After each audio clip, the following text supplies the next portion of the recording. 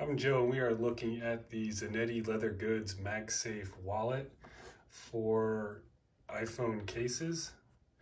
And uh, I have a magnetic case here. I bought this because I wanted something that would be able to carry my cards around. I travel pretty light. I don't typically carry a wallet. So I just use this to carry my ID and a couple credit cards. And I wanted to get a MagSafe case and just want to show you how well this thing works. It clicks right on, holds pretty tight. You could peel it off pretty easily when you need to, but it will hold on there tight.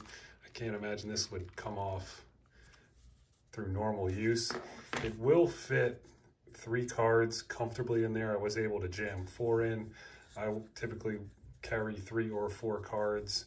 So if you're looking for less than that, it does still hold them pretty well, but it will be a little bit loose. I would recommend putting at least three in there for um, safe keeping.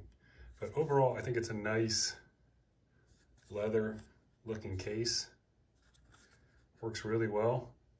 I'm excited to continue to use it.